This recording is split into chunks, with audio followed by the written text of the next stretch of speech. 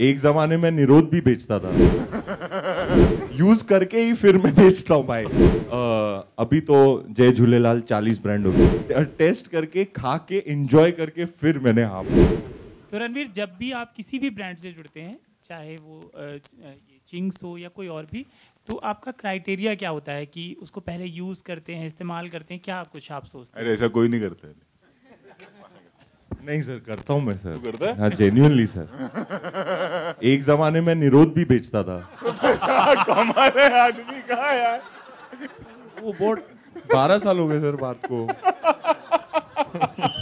Hello hi hi hi Ranveer hi Ranveer नहीं नहीं वाकई फैक्चुअल बात है।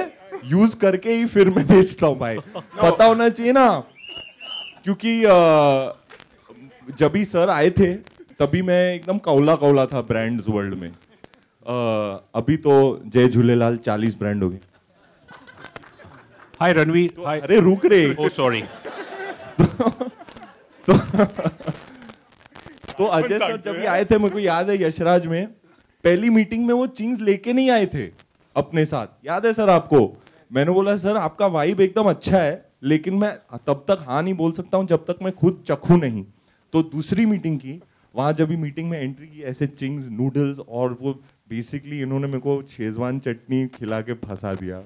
वो जो नशा है ना शेजवान चटनी में आ हा हा हा हा सुबह को पता चलेगा तो सब टेस्ट करके खा के एंजॉय करके फिर मैंने हाँ बोला। फैक्चुअल बात है। आई रिमेम्बर हमने नूडल बनवाया एट यशराज और इन्होंने ऐसे करके खाया और फिर बोला मैगी चो! बेसिकली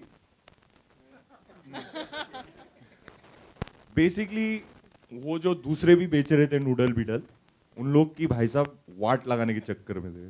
तो with big plans and very aggressive plans वो आए थे काफ़ी साल पहले। लेकिन फैक्चुअल बात है मेरे भाई, मैंने हाँ तब तक नहीं बोला जब तक मैंने ट्राई करके देखा नहीं कि वाकई इसमें दम है कि नहीं।